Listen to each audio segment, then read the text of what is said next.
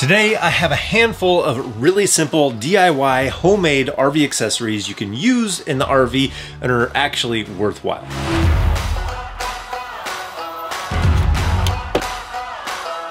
How's it going? I'm Jared Gillis. Welcome to another All About RVs. First on our list for our DIY homemade accessories is something to cover the roof vent up there in extreme heat or when you want to block out the light.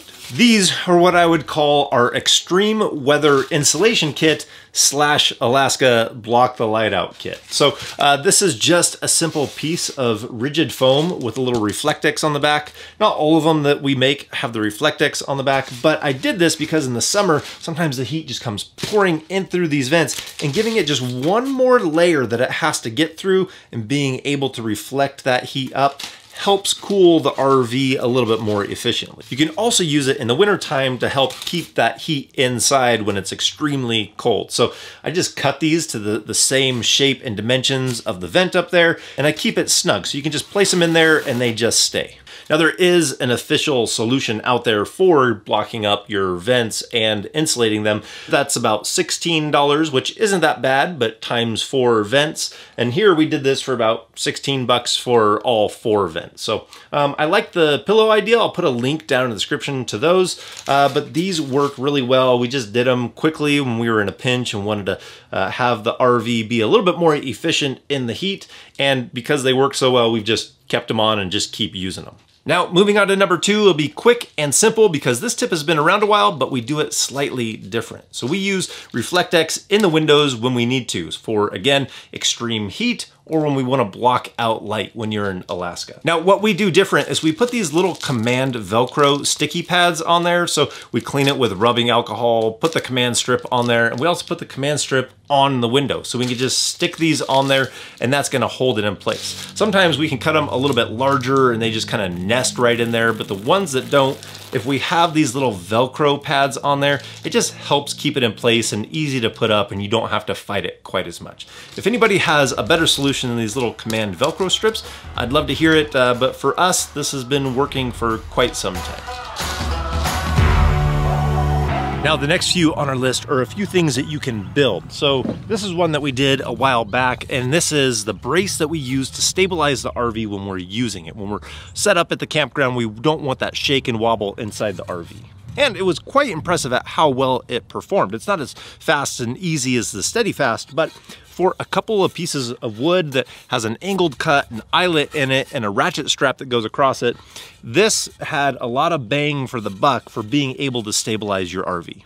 I'll put a link to that video so you can see the comparison. Now the next one is building pads to go underneath the stabilizers or the leveling jacks on your RV. These are really simple and basic and have been around for a long time. We used these on our last RV, but what I did rather than just getting a piece of wood and cutting it to the size of your stabilizing jack is I put a piece of plywood in the middle between two pieces of two by lumber. So the main reason I did that is because these two bys like to split, but plywood also likes to delaminate when you use it out in the, the rain and whatnot. So using that sandwiched in there helps keep these from splitting and then you don't have to go through wood blocks all the time. So using a wood block is a cheap, easy solution. We still like to use the stackable blocks on our RV because we can vary the heights of them at the different points. It helps us level up the RV, but a cheap, easy solution for sure. So this next one I don't have, but we've used in the past. Let me make a quick example.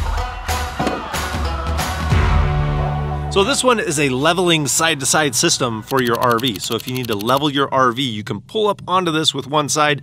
We did it so it was large enough so that we could have both tires on one side at one time so that way we could still chalk it.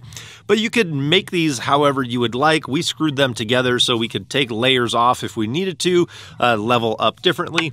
But it's nice to be able to have this so that you can level up the RV. Now we still use the curved leveling blocks because it is so simple. They're very compact, very easy to use. But this is a DIY at home thing that you can make and still be able to level your RV for a lot less. These that we use, the Beech Lane levelers, are so easy to use, but they're around $75. Very easy to use, but they come at a higher price. We do have one more in the list for you.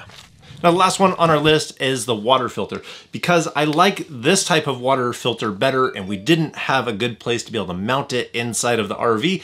We just use it by sitting on the ground or when we're in these freezing temperatures and our pressure regulator needs to be inside, we have this connected inside our storage bay. So we use these hoses to be able to connect to each side of this filter to be able to connect in we have adapters in here to go from the normal pipe threading to uh, a hose fitting on there. So then once you have that in there, it's just really easy to connect in and use. And the great thing is this is about $22 and I believe the fittings are around $12 and then the filters inside you can get a pack of them for around $15. So it's going to be cheaper in the long run using the better filter. The better filter I mean that it's not just a granule carbon filter that's in there with a little bit of foam on each side. This is an actual 5 micron filter in there that has a block carbon in there so it has to force the water through that in order to use it. And it keeps the, the flow of rate high I can't be the only one that noticed that I said that backwards. It keeps the rate of flow high to the RV because it's a whole house filter. I'm either dyslexic or related to Yoda, one of the two.